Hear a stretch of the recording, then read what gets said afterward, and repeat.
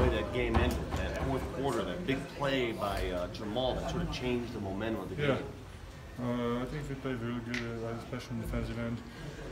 They got uh, a lot of threes, but uh, I mean that's something that they are. The, that's their weapon, you know. They have a lot of shooters that can make shots, and they're shooting it. Uh, I think we did a. I think we did a good job. Yes, they make up with them, but at the end of the day, I think we did a good job. Is it tough to get up for a team when you know they're sitting three or four of their starters, or are we over that? No, I think it's just it's a we cannot think about them. We need to think, think about it ourselves. You, you didn't hesitate in the second half continuing to shoot the ball. You, you know you'll come out of this at some point, but you were aggressive. You're happy at least being aggressive. I'm good. I mean, uh, I, I miss a lot of shots, but uh, I'm, I'm good. Uh, it's always happened that uh, that you you miss you missing shots, but uh, I think I was I was there and uh, that didn't affect me that much. Well, how valuable was the energy that Paul provided to start the game? Those Yeah. three pointers, a couple dunks. Yeah, he, he was great. He was great for us. Just uh, he he kind of opened opened the floor for us um, just by.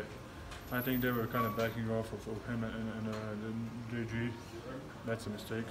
Uh, and I mean, they, they, they both of them they were really great.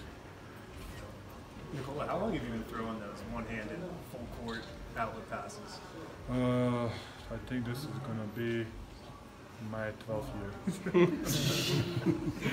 Do you survey the floor before you get the rebound, or do you just have a sense of guys sprinting down court? I mean, it depends. It's uh, if the guy is there, I'm gonna throw it. It's not. If it's not there, I'm not gonna throw it. Of course, I, I see or uh, anticipate where where he's gonna be, or maybe he's gonna leak out. So of course, I, I see a little bit.